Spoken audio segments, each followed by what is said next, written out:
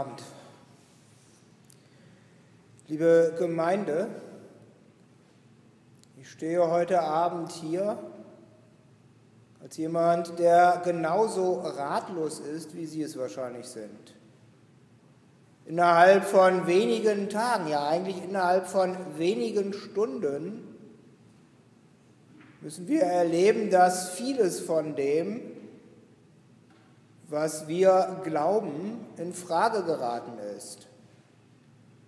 Vieles von dem, wofür ich als junger Mensch und auch später leidenschaftlich eingestanden bin, wofür ich auf die Straße gegangen bin, wofür ich auch Auseinandersetzungen mit unserer Staatsmacht hatte, auch das muss ich sagen. Vieles von dem wird jetzt in einem Handstreich kassiert. Ich bin ratlos wenn ich sagen würde, dass ich mich gut fühle, wäre das schlicht nicht die Wahrheit. Ich finde es gut, dass wir diese Ratlosigkeit teilen können. Ich finde es gut, dass unsere Ratlosigkeit einen Adressaten hat, nämlich Gott, an den wir uns auch dann wenden können, wenn wir sonst nicht weiter wissen.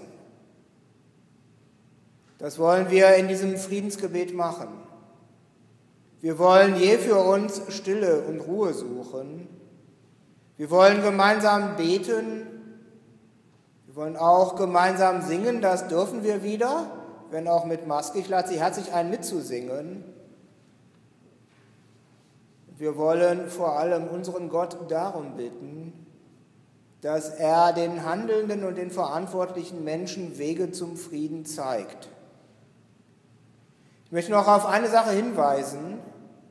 Dieser Gottesdienst wird aufgenommen, allerdings in der Form, dass nur die hier im Altarraum handelnden Personen nachher auf dem Film zu sehen sind. Also wir machen keine Blende in die Gemeinde. Und diese Aufnahme werden wir dann nachher auch ins Internet stellen, sodass für Gemeindeglieder, die jetzt nicht hier sein können, die Möglichkeit besteht, diese Andacht, dieses Friedensgebet nachher mitzufeiern. Das Blatt, das Sie am Eingang bekommen haben, ich hoffe, es hat ausgereicht. Das dürfen Sie nachher mitnehmen. Vielleicht finden Sie in den nächsten Tagen ja noch einmal zum Gebet. Dann kann das eine Anleitung sein.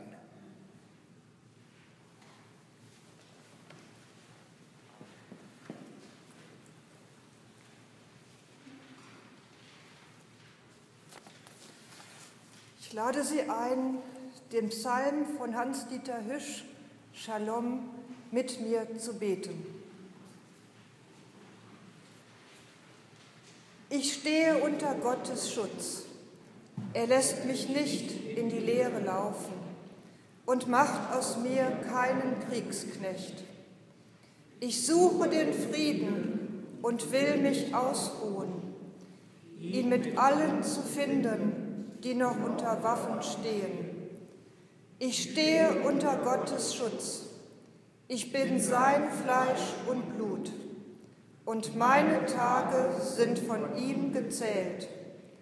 Er lehrt mich, den zu umarmen, dessen Tage ebenfalls gezählt sind, und alle in die Arme zu nehmen, weil wir die Trauer und die Freude teilen wollen.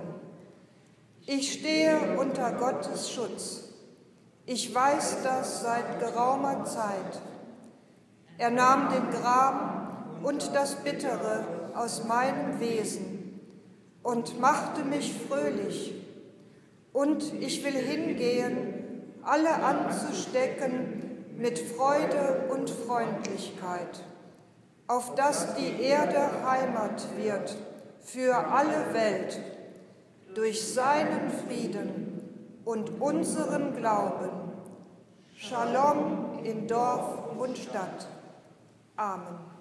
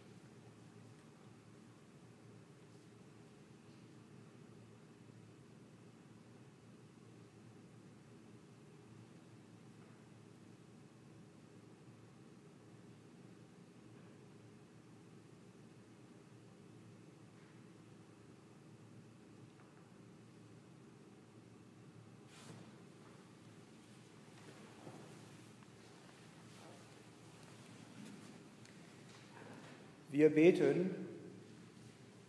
Sie dürfen die Gebetsbitten gerne aufnehmen mit dem Kyrie-Ruf Kyrie eleison.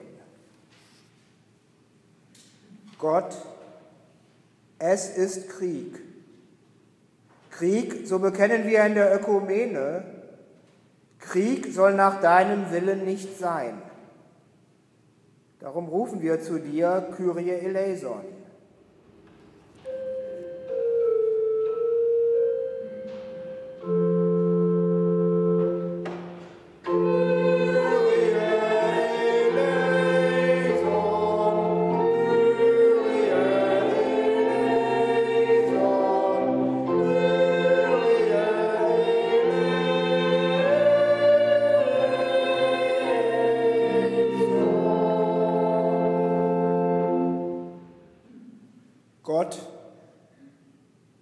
Haben Angst.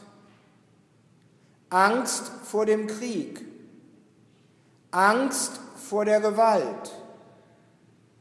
Angst vor dem rücksichtslosen Spiel der Stärke. Darum rufen wir zu dir, Kyrie eleison.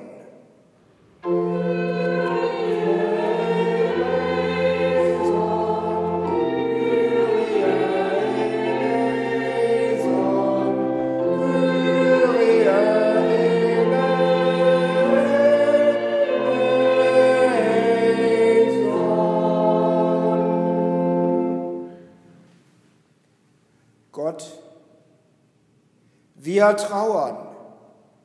Trauern um die Menschen, die Opfer brutaler, sinnloser, rechtloser Gewalt werden. Darum rufen wir zu dir, Kyrie eleison.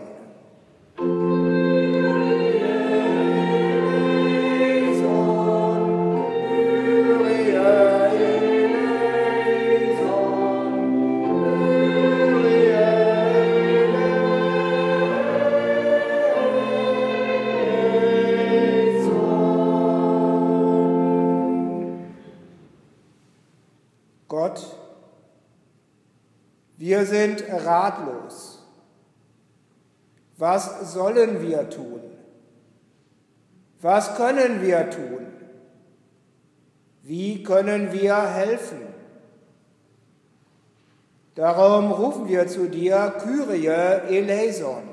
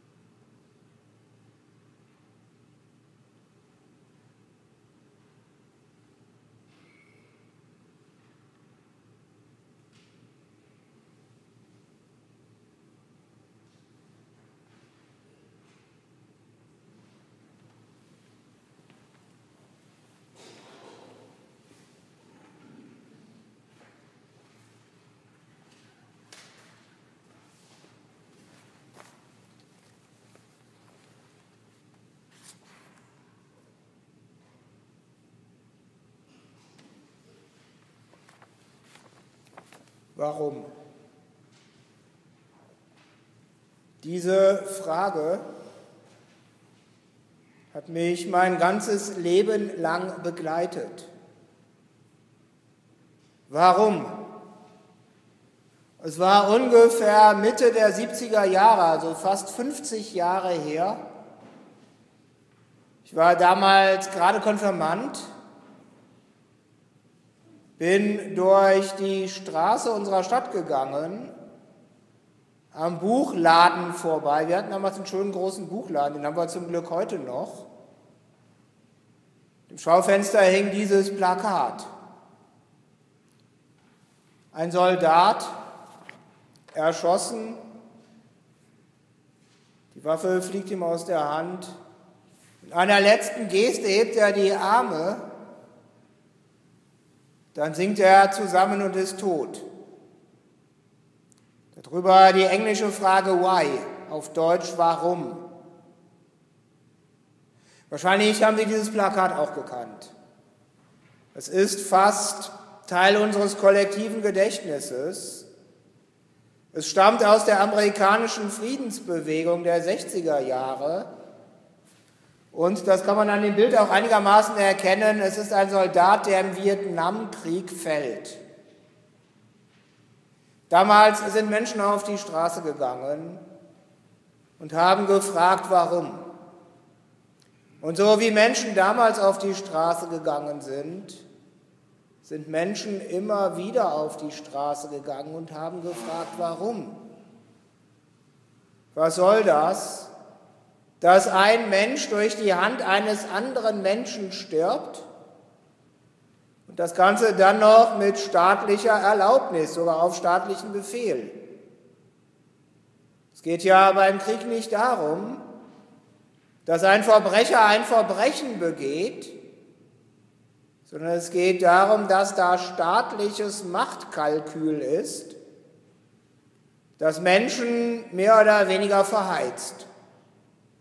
Warum? Was für einen Gewinn hat der Despot Putin dadurch, dass er die Ukraine oder zumindest Teile derselben dem Staatsgebiet Russlands einverleibt? Mein Gehirn kommt da nicht so richtig mit. Ich verstehe nicht, was das soll. Ich verstehe aber auch andere Sachen nicht. Ich möchte mich nicht zu weit in die Politik wagen. Aber ich war entsetzt. Heute Mittag, heute Nachmittag. Unser Kanzler heute Morgen in seiner Regierungserklärung, er fängt sehr wuchtig an. Er sagt, das ist eine Zeitenwende. Und dann hat er mehr oder weniger 60 Jahre deutsche Außenpolitik auf den Müllhaufen der Geschichte geschmissen, verbunden mit der Ansage, den Wehretat gerade mal eben um 100 Milliarden Euro anzuheben. Nur zum Vergleich, der Wehretat ist in unserem Etat sowieso immer der zweithöchste Etatposten. Und 100 Milliarden Euro ist ziemlich genau das Doppelte, was normalerweise der Jahresetat ist. Ein Bruchteil dieses Geldes, ungefähr 10 Prozent, sagt man, könnte reichen, den ganzen Rest der Welt mit Impfstoffen gegen Corona zu versorgen. Damit würden wahrscheinlich Hunderttausenden von Menschen das Leben gerettet und die Welle endgültig eingedämmt. Von dem, was man mit 100 Milliarden Euro im Klimaschutz machen könnte, mal ganz zu schweigen. Und es fehlt mir der Aufschrei. Ich habe es gerade in mehreren Presseorganen gelesen, also seriösen Presseorganen, sag ich mal. Durchweg sind die Kommentare wohlwollend bis positiv. In der Form endlich übernimmt Deutschland Führung in der Welt. Wenn ich das höre, bin ich fassungslos. Ich weiß nicht, ob die Welt deutsche Führung braucht. Ich weiß nur, dass das das ist, wo ich mein Leben lang leidenschaftlich gegen auf die Straße gegangen bin. Wenn Deutschland führend wäre in Kriegsverhinderung, wenn Deutschland führend wäre in Prävention, wenn Deutschland führend wäre in Deeskalation, dann wäre ich stolz auf Deutschland. Aber brauchen wir einen weiteren Herrn des Krieges in der internationalen Politik? Brauchen wir das? Für was? Ich kann leider auf den Despoten Putin keinen Einfluss nehmen. Oder nur den Einfluss, den ich als Christ nehmen kann, indem ich mich im Gebet an Gott wende. Aber ich würde mir wünschen, ich würde mir wirklich wünschen, wenn die Kräfte in unserem Land, die sich für Frieden und Verständigung einsetzen, die für Deeskalation unterwegs sind, das Ganze nicht erst seit gestern. Sie müssen bis Neuwied gehen, ist ja nicht weit weg, ja? Irene, kennen Sie mit Sicherheit. Oder Church and Peace in Laufdorf, wo ich früher gewohnt habe. Das sind Menschen, die zwischen den Fronten arbeiten und zwischen den Fronten ermitteln. Die haben durchaus brauchbare Programme entwickelt, wie man Gewalt runterkochen kann, wie man deeskalieren kann. Allerdings hat mir der Geschäftsführer von Church and Peace auch gesagt, dafür brauchen sie Geld. Und wir leben in einer Welt, wo für solche Programme ein paar Euro da sind und nicht 100 Milliarden. Wie würde die Welt aussehen mit 100 Milliarden in Deeskalationsprogramme gesteckt? Trotzdem wünsche ich mir, dass diese Kräfte stärker werden, dass diese Kräfte politisch beachtet werden, dass wir alles, was wir tun können, dafür einsetzen, zu vermitteln, zu deeskalieren, für den Frieden unterwegs zu sein. Das wünsche ich mir. Das möchte ich auch von Gott wünschen. Das möchte ich im Gebet vor Gott bringen. Das Gebet werden wir jetzt singen in einem Kanon. Dona nobis pacem. Sie sehen hier diese italienische Fahne, kennen Sie, aus der Zeit des Golfkriegs. Pace steht da drauf, Frieden. Und dann das Regenbogensymbol. Der Regenbogen als Friedenssymbol, ja. Und das ist Teil der italienischen Friedensbewegung, stammt aus der Valdenserkirche. Wir singen jetzt diesen Kanon. Dona nobis pacem. Ich sehe einige reichen Gesangbücher herum. Diejenigen, die ihn auswendig können, können auch gerne mitsingen, ist nicht so schwer. Beim zweiten Durchgang klappt es bestimmt. Ich würde mich freuen, wenn wir alle ganz laut zusammen singen.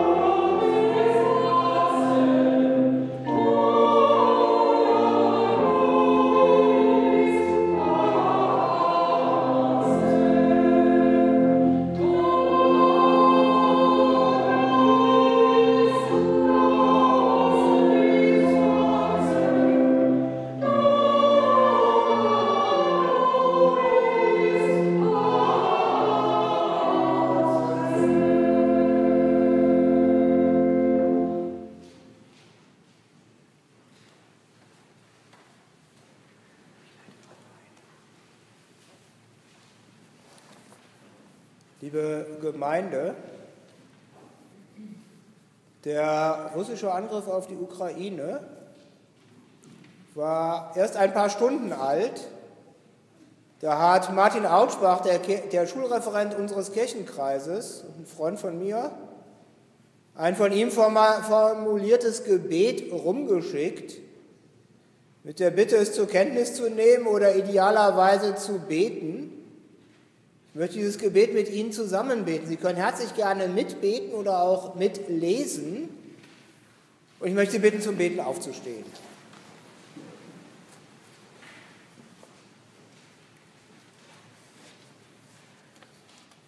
Gott im Himmel und auf der Erde. Wir sind voller Angst angesichts des Krieges, den Russland in die Ukraine getragen hat. Wir sind voller Sorge, dass dieser Krieg alles zerstört, was in mühsamen Schritten auf Friedenswegen zwischen Ost und West seit Jahrzehnten in Europa gewachsen ist.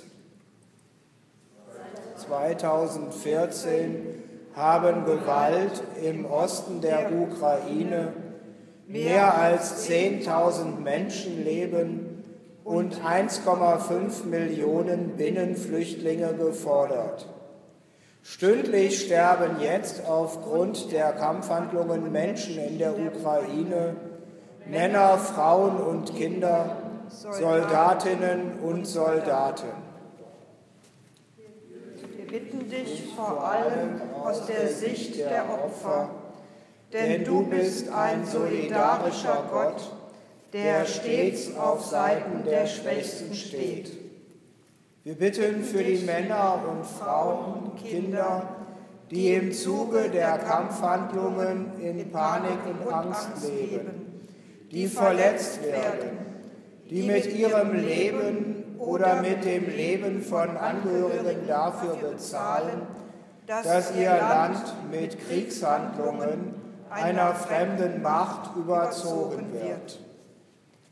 Wir bitten für alle Menschen in der Ukraine, die auf der Flucht sind, die mit ihren Familien versuchen, der drohenden Gewalt zu entkommen. Schenke ihnen schnell Sicherheit in dieser Bedrohung, Zuflucht, Mitmenschlichkeit und die Solidarität aller hilfsbereiten Bürger in allen angrenzenden demokratischen Staaten. Wir bitten für alle in der Ukraine, die hilflos mit ansehen müssen, wie ihre Freiheit, ihre Selbstbestimmung und ihre persönliche Sicherheit gewaltsam unterminiert und in Frage gestellt werden.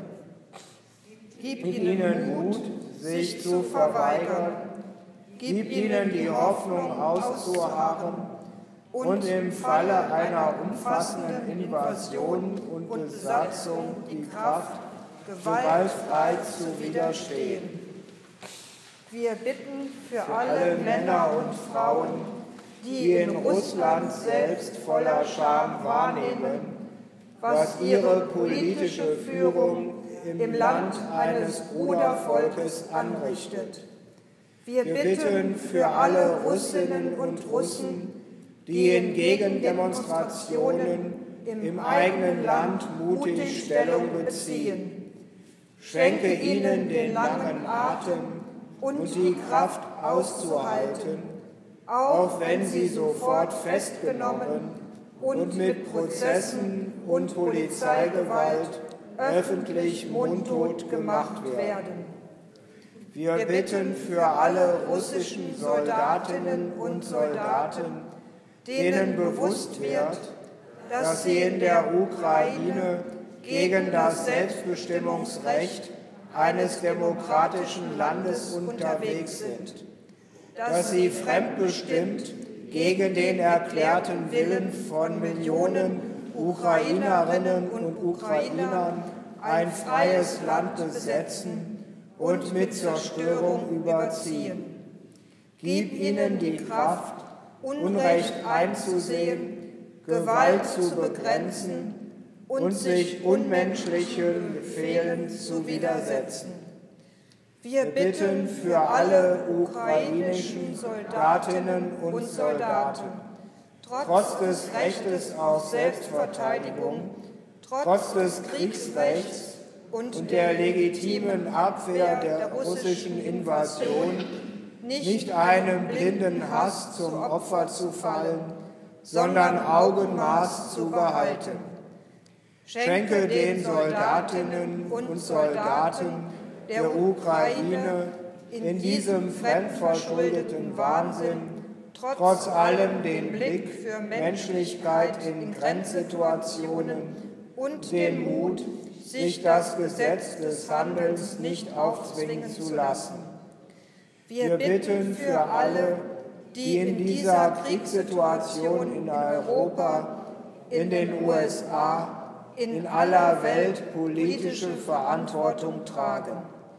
Schenke allen Politikern die Geduld und die Hartnäckigkeit, alles zu tun, was dem Frieden dient, aller Kriegstreiberei zum Trotz. Gott schenke allen bedrohten Menschen in der Ukraine so bald wie möglich wieder ein Leben in Frieden.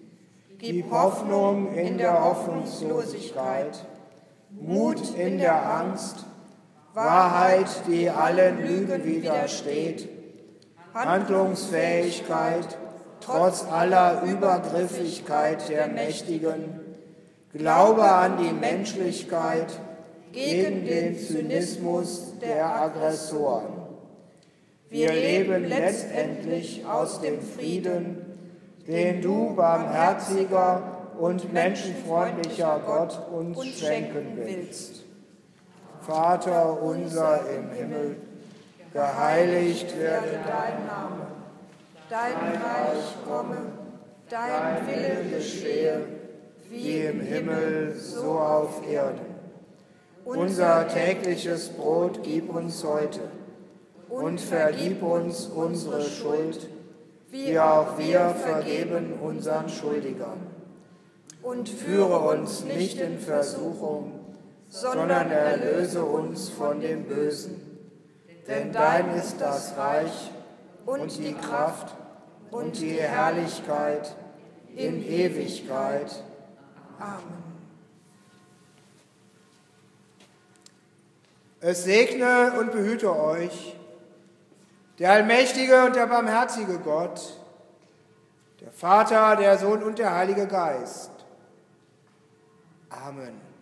Vor Frieden gnädiglich singen wir bitte auch im Stehen.